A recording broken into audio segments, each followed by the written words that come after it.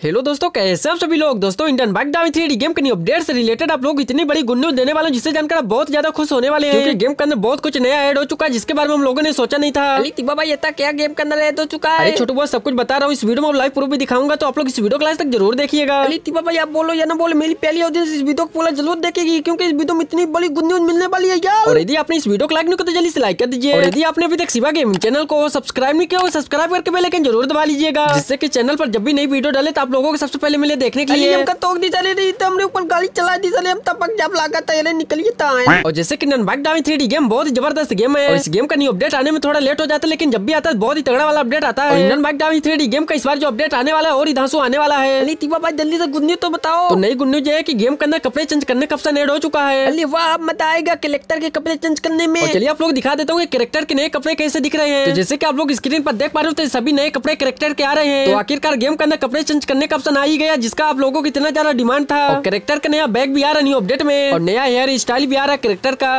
वाह तिबा भाई अब तो और ही मत आएगा। और बात करें ये सब कुछ आप लोगों को कैसे मिलेगा? क्या इसका कोई चिटको नंबर होने वाला है? या कोई ऑप्शन मिलेगा? और जैसे की गेम के अंदर कलर चेंज करने का ऑप्शन मोबाइल में मिलता है तो क्या कपड़े चेंज करने का ऑप्शन भी मोबाइल में मिलेगा? तो मैं आपको बता देता हूँ की इसके बारे में अभी रोहित गेमिंग स्टूडियो ने कुछ सोचा नहीं है। लेकिन मुझे जैसे ही पता चलता है कि गेम के अंदर कपड़े चेंज करने का ऑप्शन कैसे मिलेगा तो मैं आप लोगों को ज़रूर बताऊँगा। और जैसे कि ननबाग डामी थ्री गेम के अपडेट से रिलेटेड कुछ भी नई जानकारी मिलती है तो मैं आप लोग ज़रूर बताता हूँ। तो जिन्होंने अभी तक सिवा गेम चैनल को सब्सक्राइब नहीं किया सब्सक्राइब करके बेल आइकन ज़रूर दबा लीजिए।